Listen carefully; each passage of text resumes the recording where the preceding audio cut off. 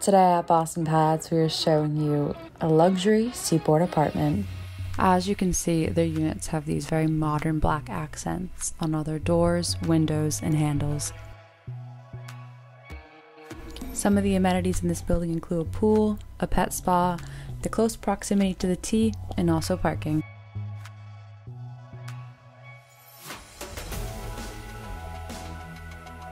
For more information on this unit or to help you with any real estate need from rentals to investments, check out bostonpads.com or give one of our agents a call at 617 208 2121.